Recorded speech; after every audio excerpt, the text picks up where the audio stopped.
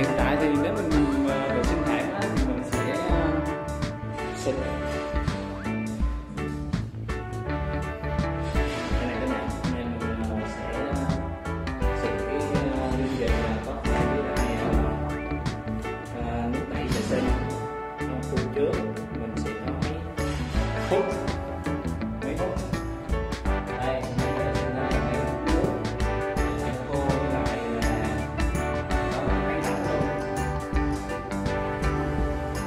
thì là em cơ bản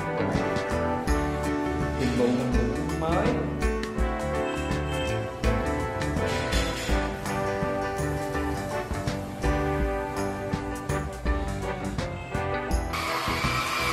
Đây là công đoạn mình ờ, chà thảm